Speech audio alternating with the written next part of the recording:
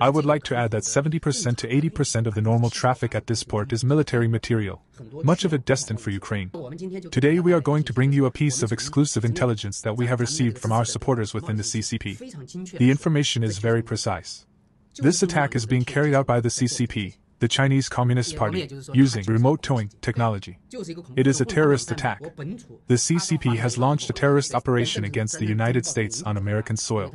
The impact is huge on the traffic and transportation of the entire United States. The local governor says it has an impact on the whole world, which is not an exaggeration at all. Also, the bad news is that if the CCP can tow a freighter to collapse Baltimore's bridge, they can do the same with any car, ship, elevator, any vehicle you can think of. As long as it has a connection to signal and data, a chip, an antenna, a radio, etc. Because Miles Guo once told me in the past that once Liu Yanping, the former vice minister of public security of the CCP, threatened him and said that they can crash any plane they want at any time. Don't think that if you don't bring your phone, you'll be okay. The CCP can crash anything as long as your device has something to receive the signal, like the radios in cars or planes.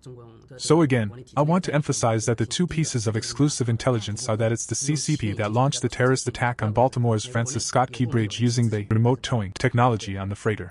The second information is that there are people in the US government who knew about it but didn't report it, although we can't confirm whether they knew about it before or after the attack.